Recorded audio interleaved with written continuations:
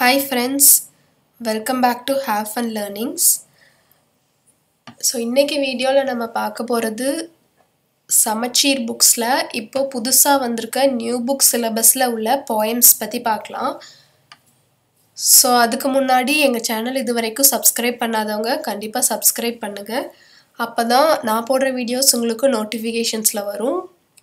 So இன்றைக்கி நம்ம பார்க்க போகிறது வந்து சிக்ஸ்த்து ஸ்டாண்டர்ட் ஃபஸ்ட்டு டேர்ம் புக்கில் உள்ள போயம்ஸ் தான். ஸோ இந்த வீடியோவில் ஒரு மூணு போயம் நான் கவர் பண்ணுறேன் crocodile trees I dream of spices so இதில் டவுட் இருந்தால் கண்டிப்பாக கமெண்ட் பண்ணுங்கள் ஸோ இது வந்து நியூ சிலபஸுங்கிறனால எந்த மாதிரி கொஷின்ஸ் வரும்னு தெரியாது. பட் ஈவன் தென் நம்ம வந்து போயமோட லைன்ஸை வந்து தெளிவாக படித்து வச்சுட்டோன்னா எப்படி கொஷின்ஸ் வந்தாலும் நம்ம ஆன்சர் பண்ணிடலாம். ஓகே ஃபர்ஸ்ட் நம்ம பார்க்க போகிற போயம் வந்து த க்ரொக்கடைல் ஸோ இந்த போயமோட ஆத்தர் வந்து யாருன்னு பார்த்தீங்கன்னா லூவிஸ் கெரோல் ஸோ இந்த போயம் பொறுத்த வரைக்கும் இந்த போய்ட் வந்து அந்த க்ரொக்கடைலை பற்றி அதோட ஆக்டிவிட்டீஸ் பற்றி ரொம்ப மிகைப்படுத்தி சொல்லியிருக்காரு. ஜென்ரலாக க்ரொக்கடைலை பற்றி யாருமே அப்ரிஷியேட் பண்ணி இந்த அளவுக்கு சொன்னதில்லை. பட் ஈவன் தென் அதோட அப்பியரன்ஸ் எல்லாம் வந்து கொஞ்சம் ரக்டாக இருந்தாலும் அதை வந்து இவர் ரொம்ப அப்ரிஷியேட் பண்ண மாதிரி இந்த போயமில் சொல்லியிருக்காரு.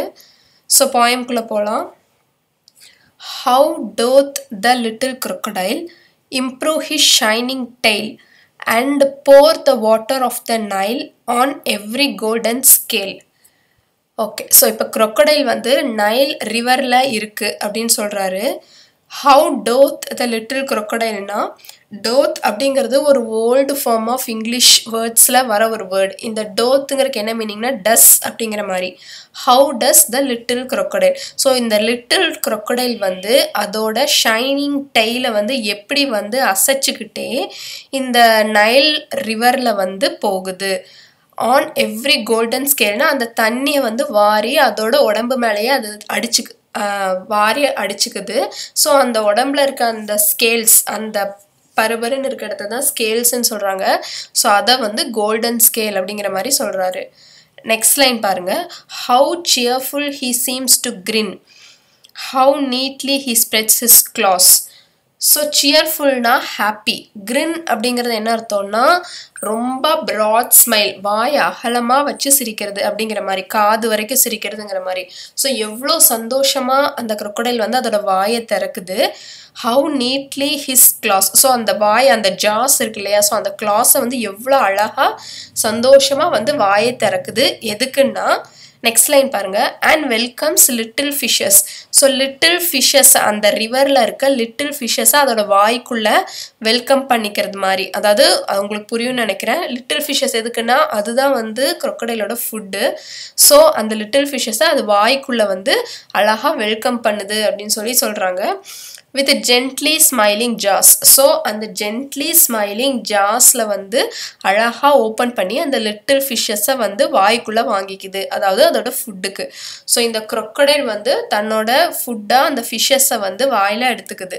ஸோ இதுதான் இந்த போயமோட ஸோ இதுதான் இந்த போயமோட தீம் ஸோ இந்த போயம் பொறுத்த வரைக்கும் மாரல் என்ன அப்படின்னா ஜென்ரலாக வந்து க்ரொக்கடையில் யாருமே வந்து அதோட ஆக்டிவிட்டீஸ் அண்ட் அதோட அப்பியரன்ஸ் பற்றி இவ்வளோ ஜாஸ்தி சொல்ல மாட்டாங்க.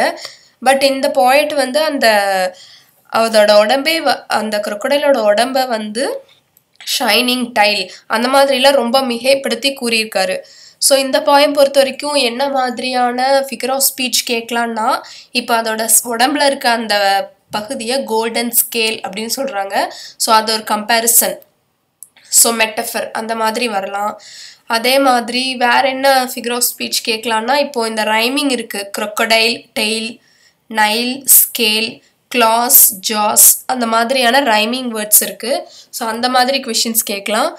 ஸோ அவ்வளோதான் இது ஒரு சின்ன போயம் தான். இதோட ஆத்தர் மட்டும் ஞாபகம் வச்சுக்கோங்க. லூயிஸ் கெரால் இதில் வந்து வேறு தீம்னா தீம்னா பெருசாக ஒன்றும் இல்லை. பட் இவன் வந்து ஒரு சின்ன ஸ்- சின்ன போயம் அண்ட் இதோட லைன்ஸ் நம்ம ஈஸியாக ஞாபகம் வச்சுக்கலாம்.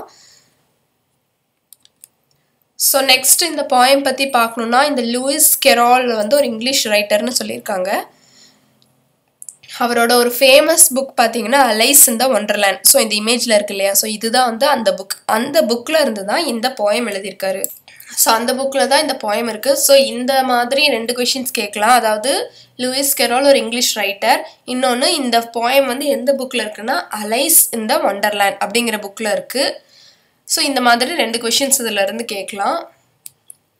நெக்ஸ்ட் இந்த போயமில் கொடுத்துருக்க க்ளோசரி வந்து என்னென்னு பார்த்தீங்கன்னா டஸ் டோத்துங்கிறது டஸ்ஸுங்கிற மீனிங் நான் சொன்ன அப்பலேவே இம்ப்ரூவ்னா கொஞ்சம் பெட்டர் ஆகிறது சீர்ஃபுல்னா ஹாப்பி ஜென்ட்லிங்கிறது சாஃப்ட்லி இப்போ நெக்ஸ்ட் போயம் பார்க்கலாம். நெக்ஸ்ட் போயம் வந்து ட்ரீஸ் ஸோ இது சிக்ஸ் ஸ்டாண்டர்ட் ஃபஸ்ட் டேர்ம் சமச்சீர் புக்கில் இருக்குது ஸோ இந்த போயம் வந்து ஓட ஆத்தர் வந்து யாருன்னா சாரா காலரிச் அப்படிங்கிறவங்க. ஜென்ரலாக இவங்க ட்ரீஸ் பற்றி நிறைய போயம்ஸ் எழுதியிருக்காங்க. ஸோ ட்ரீஸோட பெருமை. ஸோ ஒவ்வொரு ட்ரீ வந்து என்னென்னலாம் நமக்கு கொடுக்குது அப்படிங்கிறத பற்றி ட்ரீஸோட பெருமையை பற்றி இந்த போயமில் இவங்க சொல்லியிருக்காங்க. ஸோ போயம்குள்ளே போகலாம் the banyan is the largest of all trees peepal quivers in the breeze so banyan அப்படிங்கிறது ஆழமரம்னு சொல்லுவோம்ல அதுதான். ஸோ இருக்கிறதுலையே எல்லா மரத்தை கம்பேர் பண்ணும்போது ஆழமரம் தான் பெரிய மரம் அப்படின்னு சொல்கிறாங்க த பீஃபுல் குவெஸ் ஸோ குவெஸ்னால் நான் சைட்லேயே இந்த க்ளோசரி கொடுத்துருக்கேன். குவெஸ்ங்கிறது ஷேக்ஸ் குயிக்லி ஸோ ப்ரீஸுங்கிறது காற்று ஸோ அந்த காற்றுல வந்து பீப்ஃபுல்னால் என்னென்னா அரச மரம். பூவரச மரம் சொல்லுவோம் இல்லையா? ஸோ அந்த அரச மரம் வந்து காற்றுக்கு தகுந்த மாதிரி வேகமாக அசைது அப்படின்னு சொல்லி சொல்கிறாங்க தேர்ட் லைன் பாருங்க. The coconut grows up straight and tall so coconut tree தென்னை மரம் வந்து ரொம்ப வேகமாக வந்து ஸ்ட்ரெயிட்டாக டாலாக ஹைட்டாக வளருது அப்படிங்கிறாங்க. The neem trees fruits are very small so neem ட்ரீங்கிறது வேப்ப மரம் ஸோ அதோட ஃப்ரூட்ஸ் எல்லாம் ரொம்ப சின்னதாக இருக்குது tamarind gives pleasant shade so புளிய மரம் வந்து நமக்கு ஒரு நல்ல நிழலை தருது. Dates leaf is as sharp as blade so dates லீஃபுங்கிறது என்னென்னா நம்ம பேரிச்சம்பள மரம். ஸோ பேரிச்சம்பள மரம் ஜென்ரலாக எல்லா பக்கமும் இருக்காது. டெசர்ட்ஸில் மட்டும்தான் இருக்கும். ஸோ அங்கே வந்து அதோட தண்ணி அதை எடுத்துக்கிறது ரொம்ப கம்மி தான் ஸோ தண்ணி கம்மியாக இருக்கனால அதோட லீஃபோட ஒரு மாடிஃபிகேஷன் அது பிளேடு மாதிரி இருக்கும். ஸோ டேட்ஸ் ம மரத்தில் உள்ள லீவ்ஸ் எல்லாம் வந்து பிளேடு மாதிரி ஷார்ப்பாக இருக்குது அப்படின்னு சொல்கிறாங்க நெக்ஸ்ட் லைன் பாருங்கள் the teak tree gives useful wood so teak ட்ரீலேருந்து useful wood நிறைய கிடைக்குது. ஸோ அதெல்லாம் நம்ம விண்டோஸ் டோர் அதெல்லாம் செய்கிறோம் நெக்ஸ்ட்டு மேங்கோலேருந்து ஒரு ஃப்ரூட் வருது. அது நல் ஒரு நல்ல ஃப்ரூட் கொடுக்குது மேங்கோ ட்ரீ அப்படின்னு சொல்லி சொல்லியிருக்காங்க.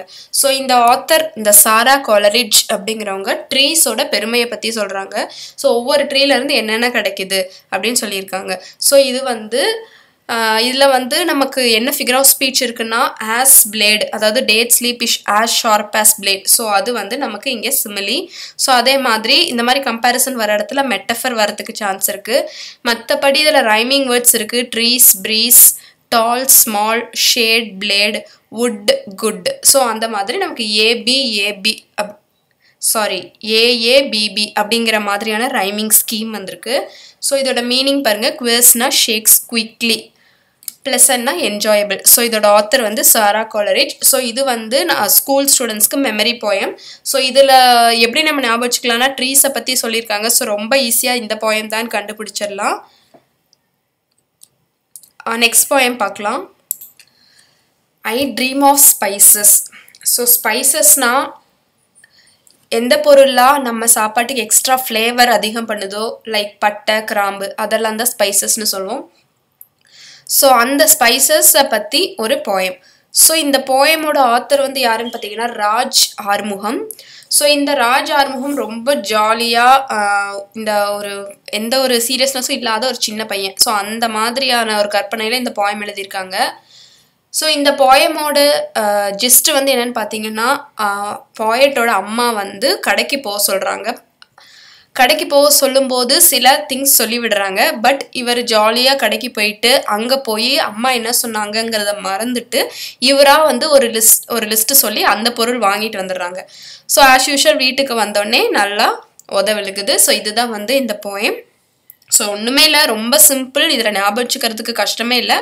போயம்குள்ளே போகலாம் my mother would say little boy Raj go to Muthu's and get some cinnamon pepper leaves and ginger and garlic so அவங்க அம்மா வந்து என்ன சொல்கிறாங்கன்னா லிட்டில் பாய் ராஜ் அவரை கூப்பிட்டு கோ டு முத்தூஸ் முத்தூஸ்ங்கிறது அந்த ஷாப்போட பேர். அந்த கடைக்கு போய் சம் சின்னமன் அதாவது பட்டை பீட்டில் லீவ்ஸ்னா வெத்தலை அண்ட் ஜிஞ்சர் இஞ்சி பூண்டு வாங்கிட்டு வான்னு இந்த நாலு பொருள் சொல்லி அனுப்புகிறாங்க இவரும் சந்தோஷமாக கூடை வாங்கிட்டு போகிறாங்க ஸோ செகண்ட் ஸ்டான்ஸாக பாருங்கள் and so I go to the shop singing all the way so இந்த ரோட்டில் நான் நடந்து போனேன் பாடிட்டே போனேன்.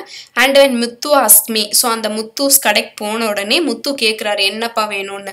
கேட்ட உடனே ஐ ராட்டில் ஆஃப் த லிஸ்ட் ராட்டில்னா என்னை அப்படியே தலைகீழ மாற்றி அவருக்கு என்ன தோணுதோ அதை வந்து சொல்கிறாரு அவங்க அம்மா சொன்னதை மறந்து இவருக்கு தோன்றதை சொல்கிறாரு என்னென்ன சொல்கிறாருன்னா சீசேம் ஆனியன் டொமேட்டோஸ் பிக்கிள்ஸ் அதாவது எள்ளு வெங்காயம் தக்காளி ஊறுகாய். இது வேணும்னு சொல்லி அவங்க அம்மா சொன்ன லிஸ்ட் இல்லாமல் இவராக ஒரு லிஸ்ட்டாக சொல்லிட்டாரு. அண்ட் இதெல்லாம் வாங்கிட்டு வீட்டுக்கு வராரு. And back home mother twist my ears ouch so வீட்டுக்கு வந்த உடனே ஆப்வியஸாக அவங்க அம்மா காதை பிடிச்சி நல்லா திருகுறாங்க. அவுச்னா ஒரு வழியில் ஒரு போடுற சத்தம் அது. ஓகே ஸோ இவ்வளோதான் ரொம்ப சின்ன போயம் சிம்பிள் போயம் இதோட ஆத்தர் வந்து ராஜ் ஆறுமுகம். ஸோ இந்த பாயிண்ட் பொறுத்த வரைக்கும் நமக்கு க்ளோசரி என்னென்னா சின்னமன்னா என்னன்னு கொடுத்துருக்காங்க. ஒரு bark of tree that gives a delicious flavour கார்லிக்னா ஒரு ஸ்மால் பல்ப் ஸோ அது வந்து பூண்டு நமக்கு தெரியும். ரேட்டில் ஆஃப்னா ரிசைட் அப்படியே தலகீழ மாற்றி அவரே வேற ஒன்று சொன்னது. அதுதான். சீசேம் சீட்ஸுங்கிறது ஜிஞ்சர்லி சீட்ஸ் அதாவது எள்ளு விதைகள். அவுச்சுங்கிறது வழியில் அந்த காதை திருகும்போது ஒரு வழியில் ஆங்கிற மாதிரி சவுண்டு அதுதான். ஸோ இந்த போயம் புக் பேக்கில் வந்து நமக்கு அலிட்ரேஷனோட எக்ஸ்ப்ளனேஷன் கொடுத்துருக்காங்க. அலிட்ரேஷனுங்கிறது என்னென்னா it is repetition of consonant at the beginning of two or more words இந்த லைன் ஸோ ஒரு கன்சனன்ட் லெட்டர் அதாவது ஏஇ ஐஓயுங்கிறது வவல்ஸ் ஸோ இந்த வவல்ஸ் இல்லாத மற்ற லெட்டர்ஸ்க்கு பேர் கன்சனன்ஸ் ஸோ அந்த கன்சனன்ஸ் ஒரே லைனில் எகெயின் ரிப்பீட் ஆகி வரது தான் அலிட்ரேஷன் இப்போ எக்ஸாம்பிள் கொடுத்துருக்காங்க பாருங்கள் mother twists my ears so அதில் எம் எம்னு இருக்கு இல்லையா? ஸோ இது வந்து கன்சனன்ட் அண்ட் ஒரே லைனில் ரிப்பீட் ஆயிருக்கு. ஸோ அதனால் இது அலிட்ரேஷன் ஓகே இந்த போயம் பொறுத்த வரைக்கும் வேறு பெரிய ஃபிகர் ஆஃப் ஸ்பீச் எதுவும் இல்லை. ஓகே ஸோ அவ்வளோதான் ரொம்ப சிம்பிள் போயம் இந்த லைன்ஸ் வந்து பார்த்தாலே நம்ம கண்டுபிடிச்சிடலாம் இந்த போயம்ல இருந்து தான்னு.